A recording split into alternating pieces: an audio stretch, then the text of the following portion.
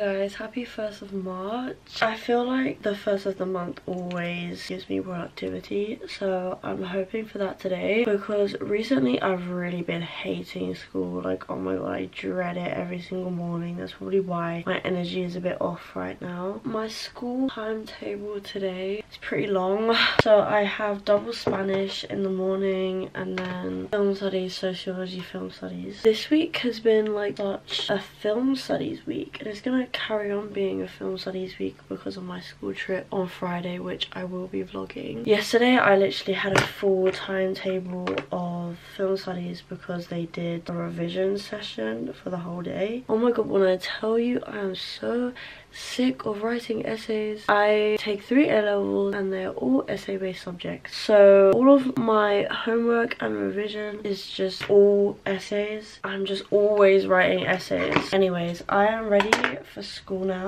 Hopefully I'll see you in school. If not, then I'll see you after. I will try to vlog in school. It's just that I'm not allowed to go on my phone. So it'll be very difficult, but I'll try and find a way.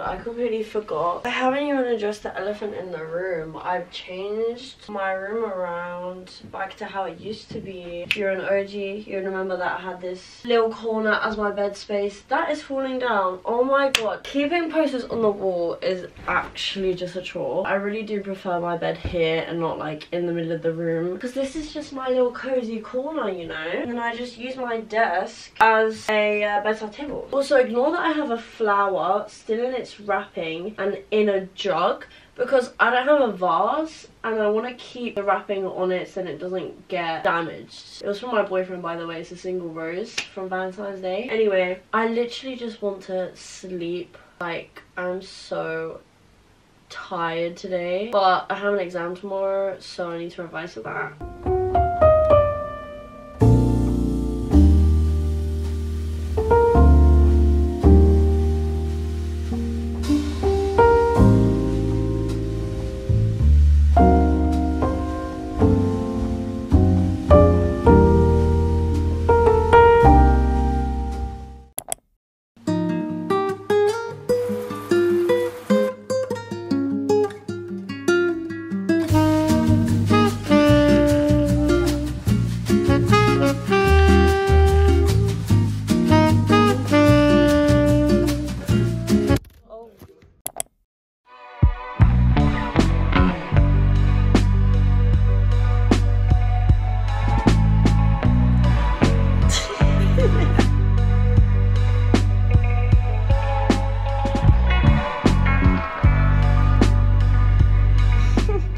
I'm back home now and let me tell you a bit about the trip that I just went on. So we went to BFI in South Bank for a Q&A with the director of Amy, the documentary about Amy Winehouse. It was so so interesting and like it's actually really gonna help me with my studies. So it was just really cool to get like the inside scoop of the film. But right now i'm just editing this video. That's about it really. I think that's all i have to say. But yeah i'll see you later. Good night